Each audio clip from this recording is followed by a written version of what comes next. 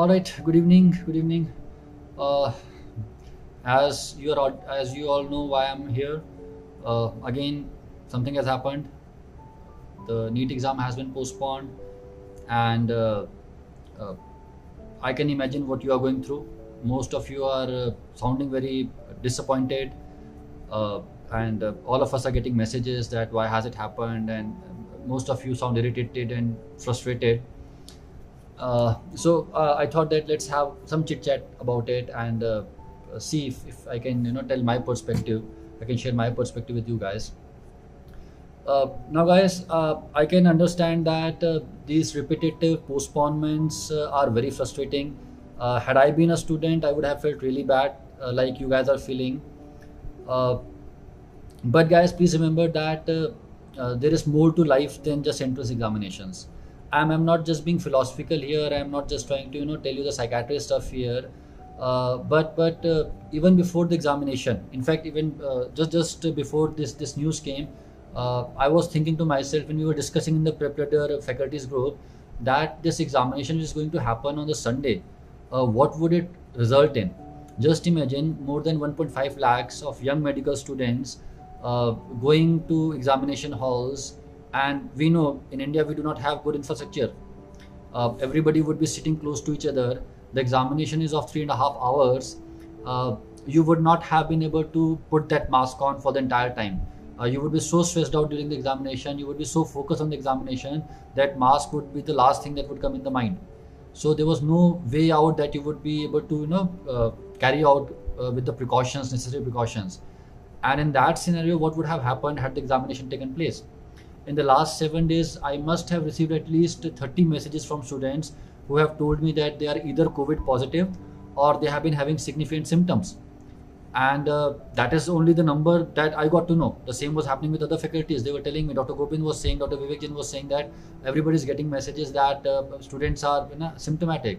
Imagine all those students coming together and add to that the number of a, a huge number of asymptomatic patients who were carrying the virus.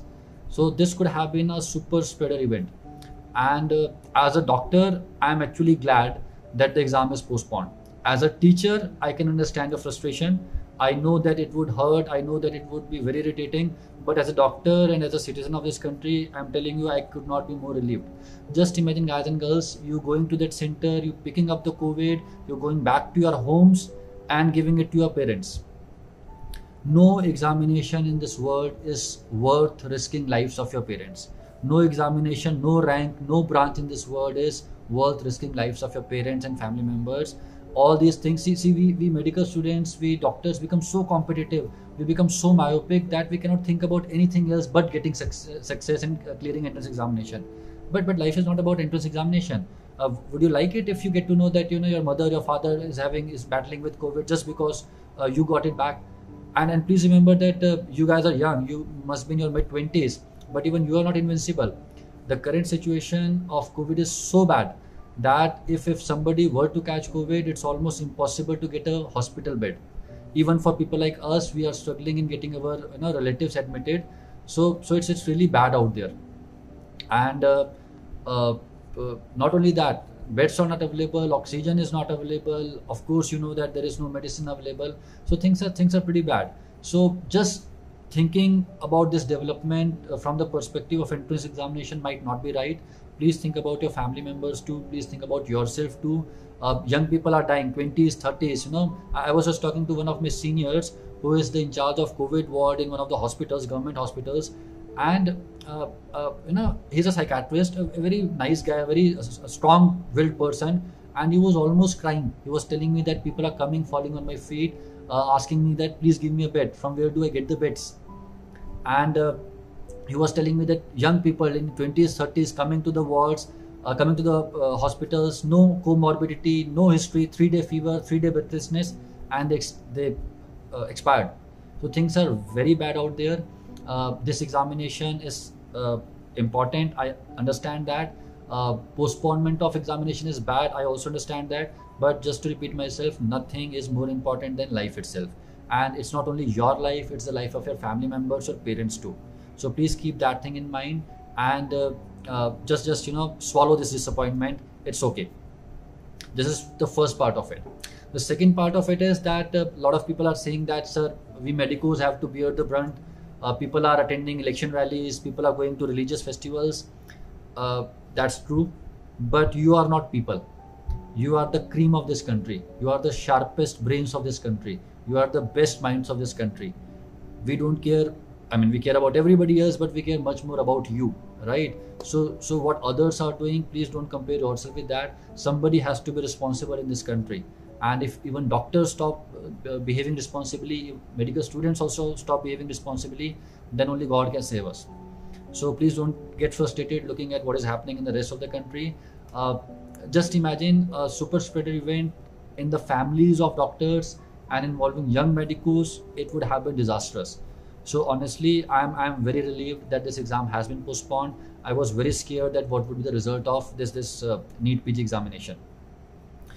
Uh, coming back to what about the preparation now? Now now let's talk let, let me speak like a teacher now. Uh, what about the preparation?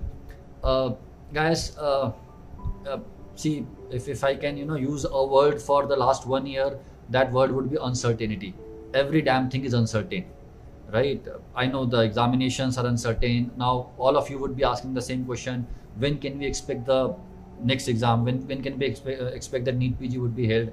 Nobody knows the answer but by looking at the trends i don't think that this wave is going anywhere in the next 30 days. So my guess is and i might be wrong here that in next 30 days at least the examination would not be held. And uh, of course those of you who were studying hard and those of you who were in rhythm uh, you would suffer a loss of rhythm uh, you would suffer a loss of momentum but that's fine. As i said there are things more important than examination in the life.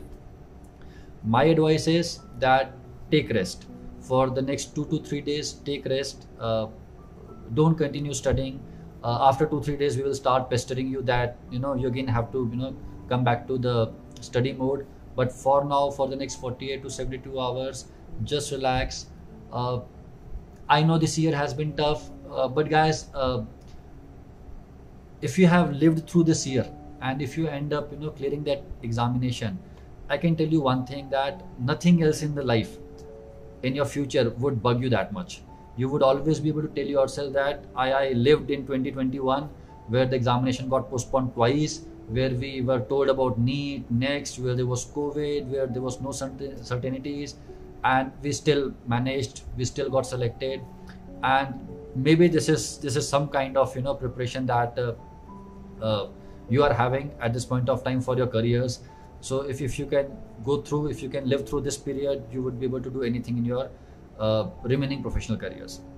Uh, also when you feel sad uh, please think uh, about your seniors who are pg1 in different hospitals in the country. They are overworked like anything. They have been doing duties back to back and they were looking so much forward to this exam. They were waiting for their juniors. And I, I had happened to have conversation with few of them. In fact i have a i had a conversation with one of the uh, coordinators, one of the senior consultants, and he immediately called me when he heard the news and he was like कि Praveen exam postpone हो गया क्या I said yes sir हो गया है and he was like कि नए doctor नए स्टूडेंट्स नहीं आएंगे तो ड्यूटीज कौन करेंगे सो just just think about your seniors too uh, they are overworked they were waiting for you but the way things are they'll have to work some more will have to study some more and uh, life is not always fair and you are getting first hand taste of it so it's okay it's okay. Be stay calm stay cool take two to three day break and uh, then then we'll make the uh, plan for the future. Right? Uh, i just wanted to have this little chit chat with you uh, about this topic and uh, I, I hope you understand my position and i hope you understand why this decision was taken. Uh, let, let me see if, if there are certain questions. Uh, Derm Doc is saying depressed, don't know how to deal uh, yeah I, I can understand that uh, it, it is depressing it is anxiety provoking but you know uh, if, if i can bring some some psychiatry into it uh, please please uh, allow me that. Uh, there's an important therapy called as ACT acceptance and commitment therapy. And one of the basic principle of that therapy is that just accept those things which are beyond your control. You can do nothing about NEET examination you can nothing you can do nothing about when the exam would be announced uh, cursing the government, cursing your luck, cursing everybody around will only make you will make you feel even more bitter.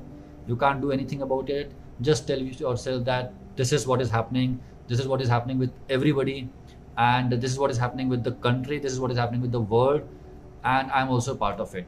When when you see yourself as a part of a bigger system the frustration becomes lesser. So FMG ka kya hoga? People are asking uh, nobody knows but i believe i mean things should go uh, on the same track but nobody knows. Uh, I, I, can understand it's even worse for FMG guys and girls. Uh, at least NEET people know that it has been postponed. Now FMG people don't even know whether to study or not. We don't know. So let's let's wait for the government to make more announcements. Uh, I don't know what will happen about INI CET. See, please, I, am not a part of government. I'm not a part of NB. I don't know. Uh, so just just wait and see how it goes. Uh, all right. Uh, somebody is saying my face is explaining the situation. Uh, yes, uh, uh, all of us are stressed out. Our family members are having COVID, and uh, we don't know what, what is going on. So, uh, as as somebody was saying in the beginning, we are we all are in this together. So think beyond entrance examination. People are losing their lives. All right, guys. Have a good night's sleep, relax, and uh, take a two to three days break. Good night. All the best.